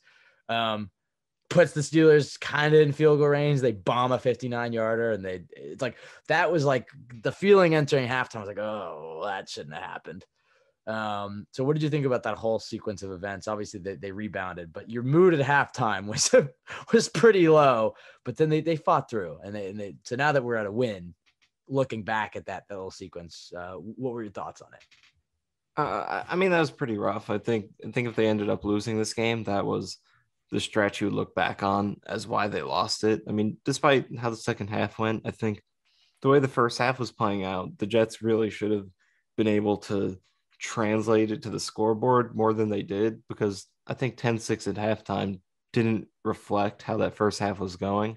And, and that's not to say the Jets were, you know, dominating or anything because they did have some drives that didn't really go anywhere. But, you know, with the way the field position was flipping, the Jets had plenty of opportunities to put points up and the fact that you know they had the opportunity to to double up to score at the end of the half and get it back to start the second um, that late half sequence was a difference maker because even if you know Zach doesn't throw that first interception you at least hit that field goal hopefully put it at 13-3 don't give up the field goal going back and you know now it's 10 points going into halftime that's a six point swing compared to what actually happened which turned out to be a huge difference maker. So the interception, which we talked about, not a good play, you know, just the play in itself and then the situation. Um, and, th- and then coming back, I think, you know, some people were critical of Carl Lawson, some people weren't. I'm on his side here. I don't, I think that was a soft call. I don't think there's a lot he could have done to avoid that. It, it was one of those where he's kind of already in the process of moving towards the quarterback eh, while he's releasing it. It's not a ton he could do to stop himself. So I, I thought that was just kind of a tough break, not really a bad play. And and some penalties the Jets have had recently are bad plays. You know, the Corey Davis one last week, that was a really bad penalty that you have control over. This one, I think they kind of got a bad break, but either way, it was still a. And then he makes, you know, the field goal they made was the longest one in the history of the stadium. So that's kind of tough break too. But either way, it definitely was a rough swing to close the half there. All right, let's talk about um, the defense. We focused entirely on the offense, but it was the defense that really needed a, a, nice performance and a nice bounce back. I started them in fantasy this week, Michael. I had a feeling I was just like, you know what? Whether it's Trubisky or the rookie quarterback and Kenny Pickett, this defensive line is angry about last week. They didn't get after the quarterback. You know, the secondary has the ability to create takeaways. I think this game was kind of indicative of what you imagine this defense looking like, where it's like, all right, they're going to give up yards. This is not a defense that's built to be a, a, a, stalwart. This defense is built to make the big plays, to win on third down, which they haven't done at all, actually. But in this one, they did come up big on third down. They were creating those drive wrecking sacks, or and they had to create plenty of turnovers. I think they had four interceptions, five if you count the one at the end of the half that got called back, so you can't. But four interceptions, three sacks, a ton of pressures, a ton of of of great pass breakups and tackles for losses and just the idea of this defense is look like they're going to get yards we're going to make the big plays we'll hold up well in the red zone um, and you just want to have the every drive like if you can get that one drive breaking play where it's like even a sack on first down and now it's second and 17 you know that's what this defense is predicated on. And and I think they uh they did a nice uh you know they brought Bryce Huff in he did a nice job creating some pressures. They played JFM a little bit more inside. He's still the starting defensive end which is okay. Like he can do that but I, I liked that they were not keeping him out on the edge as much. Again like you said we got to go back and watch because during the game it's hard to keep track of, of personnel that much but it did seem like he was playing inside a little bit more especially on third downs Still saw plenty of rotation. I'd be curious to see the numbers if it's the same or if they dial it back a little bit. But um, as a whole, I thought this defense rebounded quite nicely. Uh, I thought they had a nice start, obviously. Then the whole momentum of Pickett coming in, like you said, it's like it was like that 2018 game against Cleveland all over again. It's like, oh, here comes the rookie quarterback, and they're at home, and all the fans are going crazy, and the Jets are letting this one slip away. And uh, and this defense kept fighting. They made plenty of plays. That play with three and a half minutes to go. I mean, at the time, like you said, I almost didn't realize how big it was. Steelers on the Jets' 35 yard line and saw some Michael Carter make that play. They get that interception, and that sets everything up in, in motion for, for the game winning drive. So this defense really came up big when it mattered, and that's that's what it's predicated on. And I think it's the first game that you really saw it happen. Maybe outside of the uh, the Browns Ashtyn Davis interception uh, to close that one out. So that was my little brief summary on the defense. Michael, what did you see from the defense, and and how encouraged were you from from the performance we saw? Obviously, the Steelers not that impressive, but they still do have plenty of of good players. They're well coached. They have a solid off. Well, I don't know if I should say they have a solid offensive line, but they're a well coached offensive line. Uh, they're, you know they have a good offensive line coach, and the rookie quarterback came in. They had momentum. So even though they're not maybe the most talented team in the world, this is still a team that is uh, it's a, a, team that very well could have beaten the Jets today. You know, it's a team that that will win games this year, and, and like you said, playing in Pittsburgh is as tough as anywhere. So, uh, how, how did you feel like the, the defense came up? Yeah, this is definitely the most impressive performance from the defense this year, and and and granted, like you said, it's not the most impressive opponent they're playing. I think the quarterback play was pretty bad, aside from a couple good plays from Kenny Pickett. I mean, Trubisky was really terrible. There was one play on third down where he the Jets got a third down stop because Carter second Carter the second stopped the play short of the sticks, but it was just because Trubisky threw it behind the guy and kind of cost them the first down. So, uh, granted, not the best opponent, but I think they still did a good job maximizing that because one of the keys I had going into this game was I thought they should not blitz often against this team because you know, I, I, mean, obviously Pickett ended up playing half this game, but Trubisky, his splits coming into this game over the first three weeks, he was really bad against non-blitzing on non-blitzing plays against four rushers or fewer, and then against the blitz, he's actually pretty solid. So I thought the Jets should play into that, and they did end up doing that. Um, according to Next Gen Stats, they only blitzed on two plays out of the 29 passing plays that the Steelers had. And, and that worked out really well because those four man rushes got home a few times for uh, three sacks. And then, you know, throwing against it, Trubisky just couldn't navigate the traffic. And obviously Pickett struggled with it a little bit as well. So, um, so I do think the game plan was really good. And they, I don't want to say finally game plan to the opponent because I think the Ravens, they actually did do a pretty good job last two weeks not the best, but this game I think they did, you know, great. Even though the opponent was weak, they did their best job to make sure they stayed weak by playing to their weaknesses. So I think the game planning was good. Um, pass rush, solid game. You know, they came up with some big plays. I don't think it was incredibly consistent. You know, there were some clean pockets, but they came up with big plays when they needed them. You know, three sacks. They had uh, six quarterback hits in this game, so pretty solid pressure. I think they're still capable of even better, but uh, they did have some big plays in, in timely spots. Um, with Jermaine getting a sack, Carl Lawson, Quinnen, you know, the guys you want to be stepping up, stepped up in, in big spots. Uh, and then Huff, like you said, uh, I don't think played much in this game, but he popped out when he was out there. I think he did have some key pressures. Uh, there was one pressure on third down where he helped to force an incompletion. I specifically remember that one. Um, so I think he made an impact. Um, overall, it's a good defensive game, and also the run game. I think the run defense was solid. You know, this is a Steelers run game that has not been effective this year. Um, and and once again, the Jets made sure that continued to happen. You know, just because you're playing a weak opponent doesn't guarantee anything. You have to make sure that they, you know, continue to struggle. And and like you said, this is also a well coached team, so I'm sure they had, you know, a good knowledge of this defense and how to exploit it. But you know, the Jets are ready and played a really nice defensive game. Uh, and I know the Steelers put up 20 by the end of the game, but one of those touchdown drives was gift wrapped by the interception. So essentially, they only really scored, you know, had three or 13 points that were actually earned fully on the defense. So it, it was a really good defensive performance. I think that uh, Bryce Huff was playing. I mean, I have to go back and watch, but from what I saw from at least early in the game, Huff was coming in with the starting defensive line on third downs.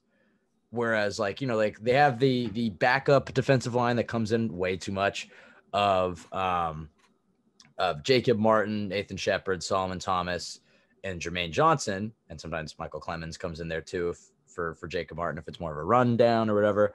And this one, when they wanted to go third down, keep the starters in, big pass rush, they would go Carl Lawson, Quinnen, JFM, Bryce Huff. They had they had plenty of, uh, of reps w- with Rankins still in when the starters were in, but on third down, Huff came in, Rankins went out, JFM went inside, and that was definitely the right move because um, they were creating a lot more pressure. And like we said last week, they were getting to the quarterback faster because they had more speed on the field. They were creating more chaos. They were able to chase. Um, I, I'm really happy with how the defensive line played. It wasn't maybe the, I shouldn't say I'm really happy because it wasn't the, there were times in this one where you're like, God, this defensive line's not getting uh, as much pressure as they yeah, should, but yeah. they did, they did end up coming through, making enough plays in the end. So you have to be happy with with how they played. And it is kind of funny that like Jermaine Johnson, first round pick that they traded up for had a sack in this one, and he's not even. He, he almost feels like a third round pick because of all the young talent that the Jets have. Like he's so buried on uh, young studs that we want to talk about. But yeah, Jermaine having exactly the type of season that I think we kind of hope for. And you, you texted me this to me as well. What have you kind of thought of, of Jermaine Johnson's first four games? Because he really doesn't get talked about a lot, but he to me is is setting himself quite setting himself up quite nicely for for a breakout next year. Because you know rookie edge guys, they struggle often and then they break out maybe year two or year three. The fact that you're seeing this already from Jermaine, he's inconsistent, but he's he's making those flash plays. What, what have you seen from Jermaine over the first four weeks? Uh, yeah, I think he's kind of been very close to at least what I was expecting from him. You know, run defense has been very good. I think his college tape and his build and his athleticism kind of suggested that he would be ready to do that right away. Um, it was the pass rushing consistency that you wondered, okay, does he have enough moves? Does he have enough um, just feel for pass rushing to be able to win consistently?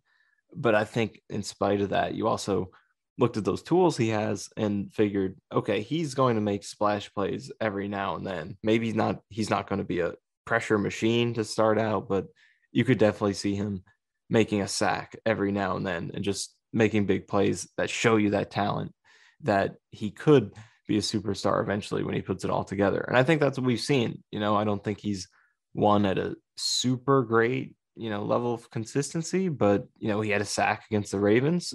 Uh, he got a half sack on that one, but that was really all him. Um, and then he gets a sack in this one as part of a three man rush.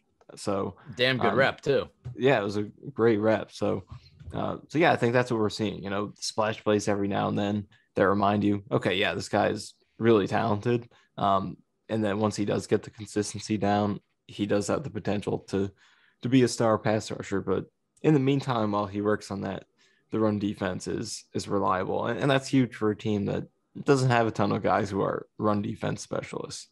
But the fact that they have a guy like him, who's quote unquote in the pipeline of talent, is just so wild to me. The Jets have just not had that. And like, yeah, they've had a lot of picks and they rotate the defensive line, whatever. But the fact that they have a guy of Jermaine Johnson's caliber who's not really a star, he isn't a starter.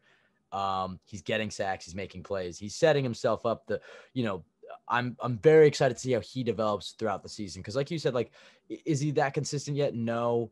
Is he the superstar pass rusher out of the gates? No. But he's making plays and he's doing a lot more than than most uh, edge rookie edge players in his position do. I mean, unless you're like a top ten pick, a lot of times those rookies, especially like a, a four three defensive end, a big, you know, like Micah Parsons was an off-ball linebacker who's rushing the ball, the, the passer. Now he's playing a little bit more of edge and stuff like that's a little different. But like a, a four-three defensive end going up against NFL offensive tackles to come out of the gates and at least do anything is is impressive. And and I, have liked what I've seen from him. And and not just the pass game, like you said, but it's it's the run game too. Like he, he's been stout in that area.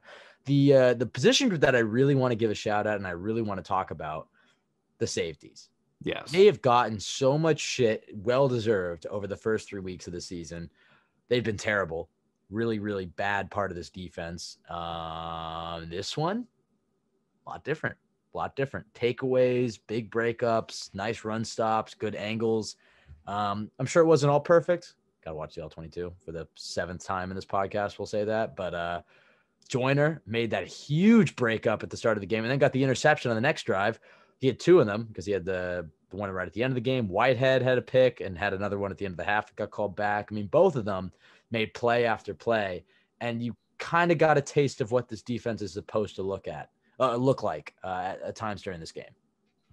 Oh yeah, this was a huge bounce back game from the safeties, uh, really from start to finish. You know, Joyner comes through with the early interception on the second Pittsburgh drive, and then closes out the game with the Hail Mary interception. But but yeah, they were fantastic. And Joyner, even before the first interception he had, he had a fantastic pass breakup on that opening drive uh, by Pittsburgh uh, on a pass to Pickens that really easily could have been completed. So from the very beginning, Joyner was locked in in this game, and then Whitehead as well joins in with a great game of his own. And obviously, they both teamed up on that one interception by Pickett uh, throwing it deep. I think it was yeah Joyner tipped it and then Whitehead came up with it. So um, great game by this duo. You always have to give credit where it's due. You know, first three games, this duo really struggled.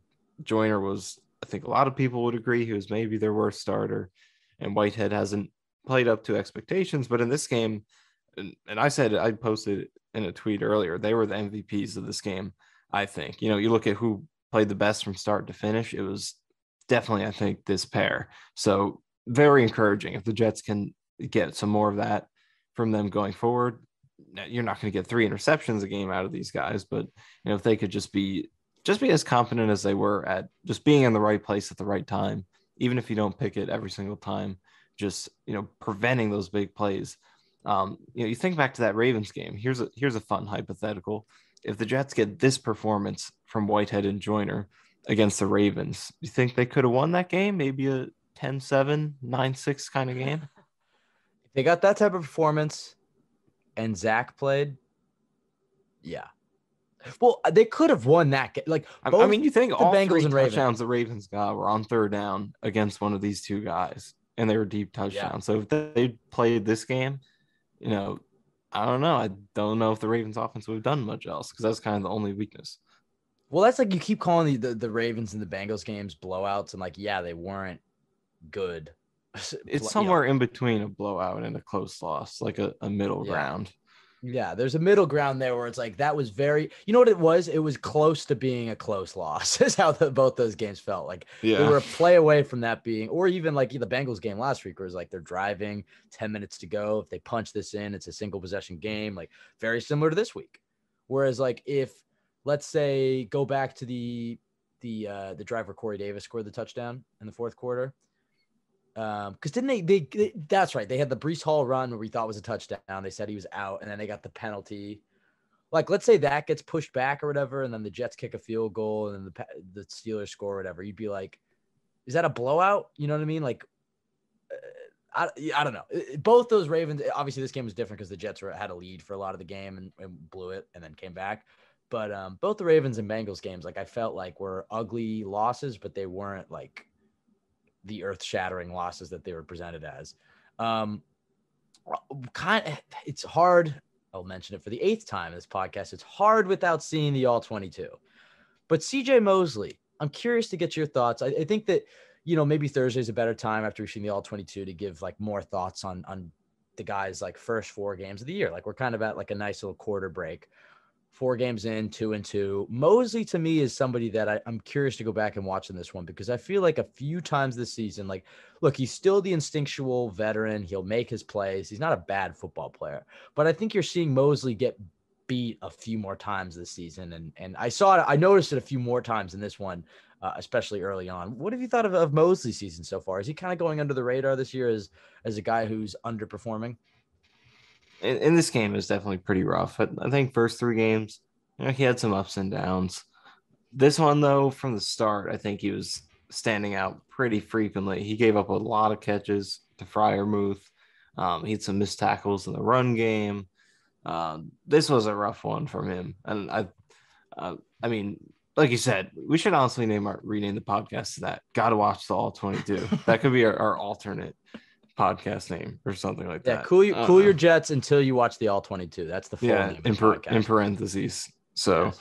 we'll rename it to that but uh but, but i don't even think you need to rewatch it to know that mosley was pretty bad in this one i, I think he was probably the only aspect of the defense that kind of consistently stood out as not playing too well so uh, i don't know you you have bad games sometimes as linebacker i don't think the first three games were were too bad i would say they were he was above average so we'll see if he can bounce back this was a rough one though You think uh how'd you feel Kwon filled in for for Quincy? He had that one I like massive him. hit.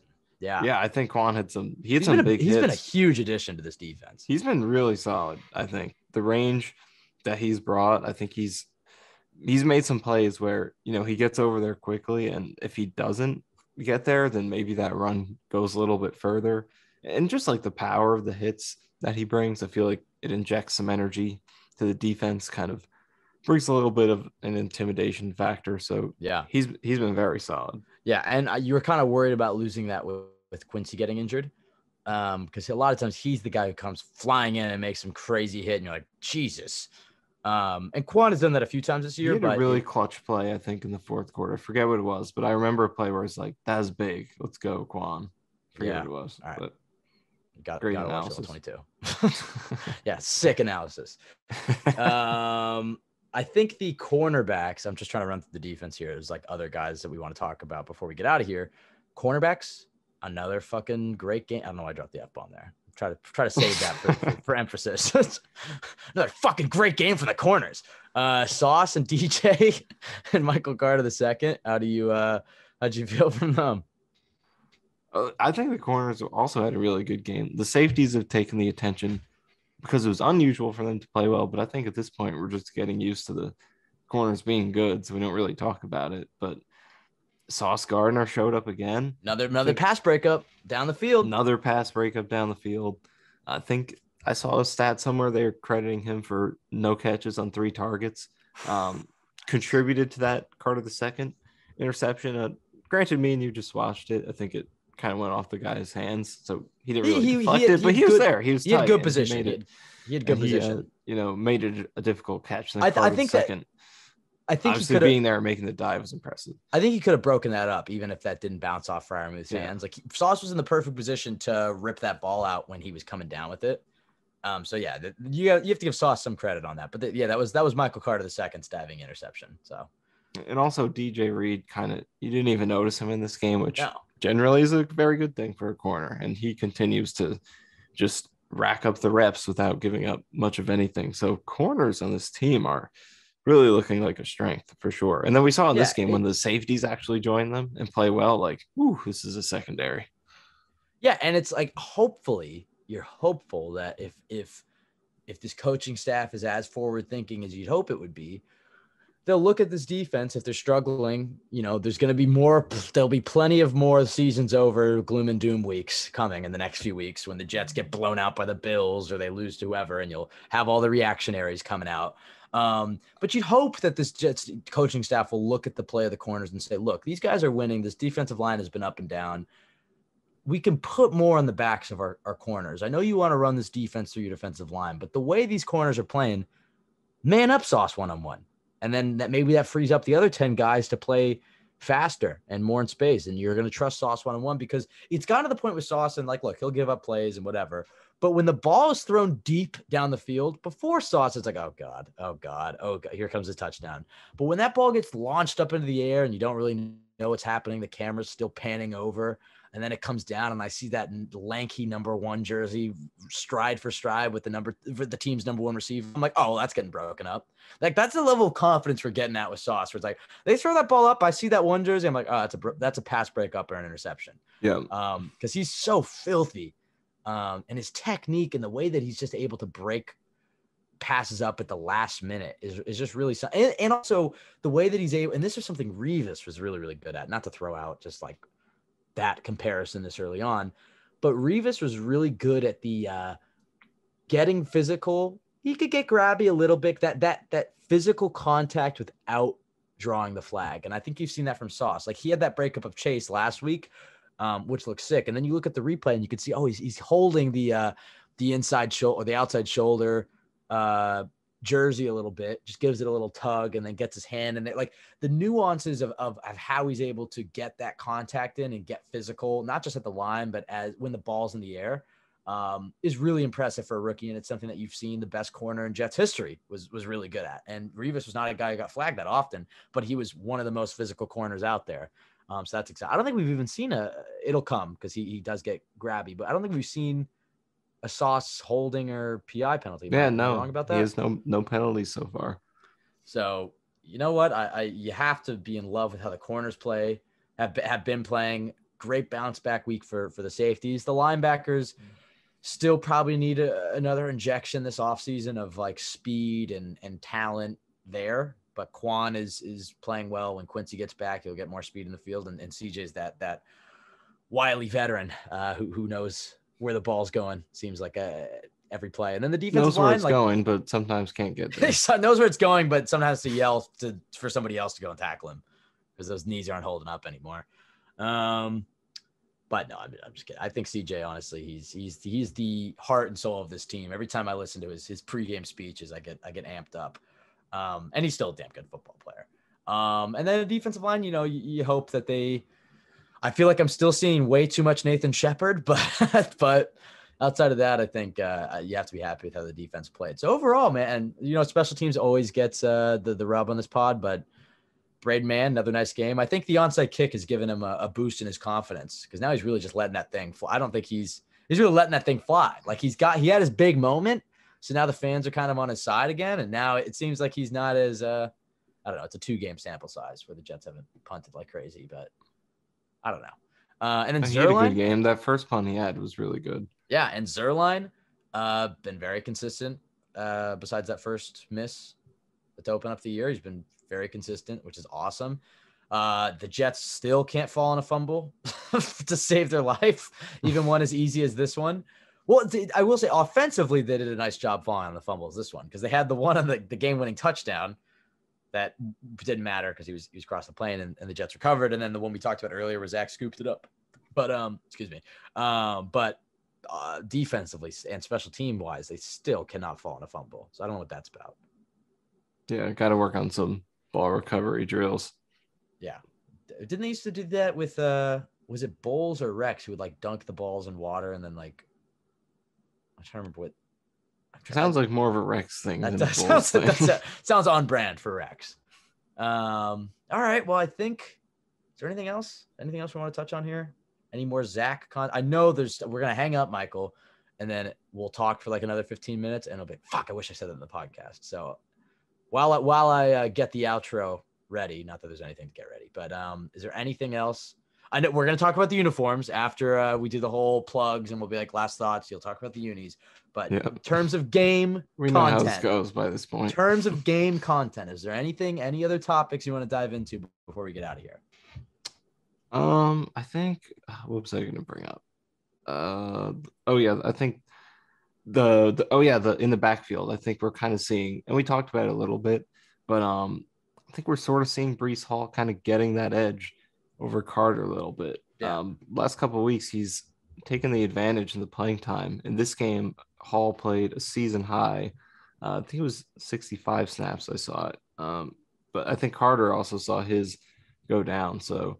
Uh, and also, we mentioned the carries 17 to 9 in favor of Hall. So, uh, oh, just got the snap count here 67% for Hall. That's a season high, beats his 61 from the previous game. And then Carter in this game down to 43. So, kind of been trending in Breece Hall's direction a little bit. Um, so, potentially, he's, uh, I don't think we're ever going to see like anything drastic. Like, this might be the extent of it for now, but it does seem like he's kind of taking the edge a little bit. Breece, yeah, Breece is definitely coming on.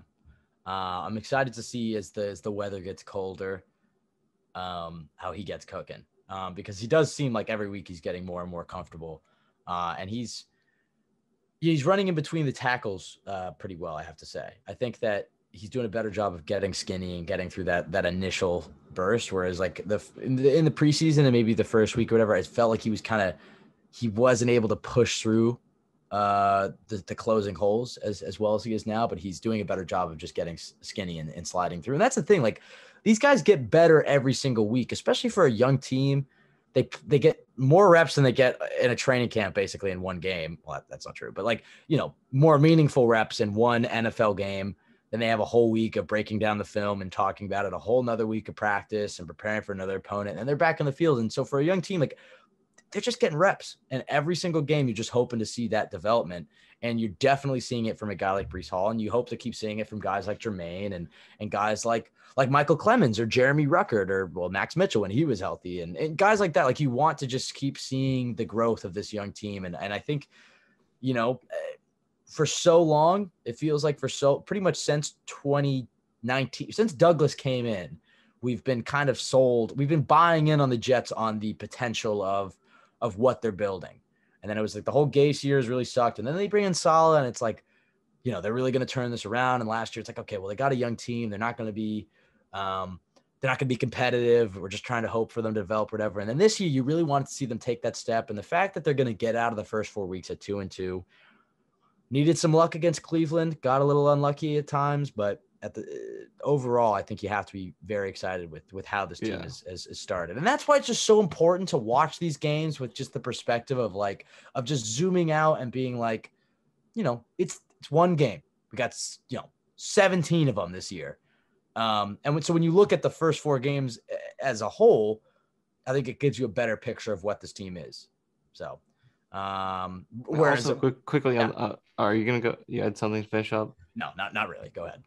Okay, well, quickly on the young talent, I just think, like, how cool is it that we get to see these guys, these young guys, making meaningful, clutch, game-winning plays in, in games that matter. Like, Yeah, uh, Garrett, Garrett Wilson and- has a yeah. game-winning touchdown. Breece Hall has a game-winning touchdown. Yeah. Just think, think back to two years ago when our hope Frank of Gore. young talent was like, oh yay, P Ryan scored a five-run touchdown in a 30-point loss to the Bills. Oh yay, Mims had a couple deep catches and a 40-point loss to the Chiefs. now we're seeing these guys making game-winning plays on the road against you know the Steelers, against a good Browns team. Like this is the stuff of dreams. It's a fun team. awesome. It's a fun team. Are they going to win the Super Bowl this year? No. Uh, could they make the playoffs? They could. They could make a second half playoff push. I don't think that's. I mean, I'm not saying they will, but it's it's in the cards. If they're four and five at the bye, they got a lot of winnable games. If they come back focused after the bye and they're really clicking, like they could make a push. But for me, it's just like you just want to see them be competitive, get around 500, seven, eight, nine, maybe 10 wins. Like you kind of want to be around there. And uh, I think you're seeing that team really push for that. This is a fun team, man. Like even when they lose, I'm like just the level of young talent that we get to watch and enjoy. Um, it, it's special. It, it- it's fun to watch. So uh, they got a big game this this week. Michael, you're coming back to the city. We're going to go to the Yep. game, our, our second game together, unless we count the Pats game we didn't sit at uh, last year, but um, sit together with. Uh, last year you were at, we were at the game together, but not really. So this will be the second one. Hopefully we have better luck. Um, I I haven't seen the Jets win in person yet, but I did. I, we count if you count the Giants preseason game this year, I have seen them win. So I'm hoping that maybe we can. Can I at least see a touchdown? Like the last the Yeah, last I guess I saw cool.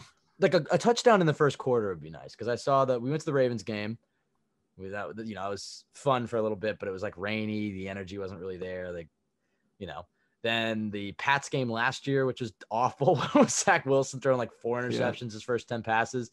Game before that I went to was uh, well I went to the Bengals game this year, but uh, the, the game before that I went to was uh the Seeing Ghost game. Like I've just had a, a stretch of just ugly games. Um, so hopefully we can turn that around. Backup quarterback facing Teddy two gloves. We'll see what happens. Um, Yeah, I gotta play my part. Like a, a very important trend kind of continued this week. So on the season now, the Jets are two and zero when I wear a jersey that matches the color they're wearing. so obviously they wore white in every game. So uh, against Cleveland, I wore my white Moore jersey. Today I wore my white Wilson jersey. So that's two and zero right there. Two home games though, I switched it up and I didn't match the theme. I wore my green JFM jersey to the Ravens game, and then uh, against the Bengals, I wore my black Carl Lawson jersey because it was his revenge game, and they Mm. Lost both of those. So I, I got to stick with the theme. Yeah, I'm gonna blame you then.